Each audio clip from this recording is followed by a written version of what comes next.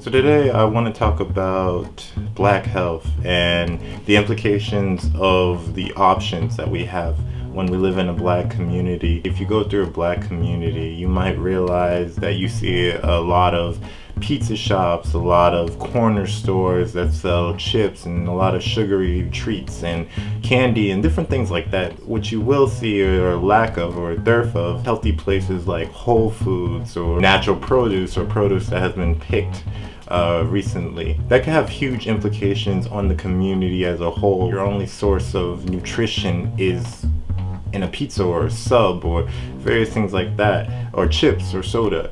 Soda is super bad for you. It wears away against your teeth because it's so acidic. And chips you know you find that they're made with a lot of monsanto ingredients which isn't good for your body. Pizza you know high in cheese high in saturated fat. A lot of saturated fat will of course accumulate in your arteries potentially lead to heart attacks and other heart related diseases. Eating too much of any of these things is just really not good for your health. And you find that you have a community that is so exposed to these types of food and lack of nutrition.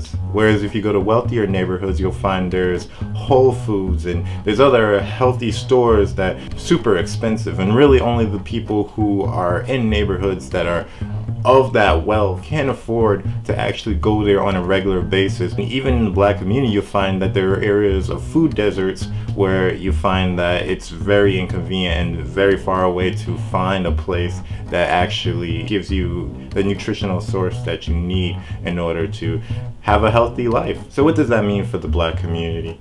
It means that we need to use our civic prowess to petition our elected officials to get us more healthy foods, to make a healthier more accessible to the people who can afford the least, to our children, to our elders, to everybody who wants to eat these healthy natural produce.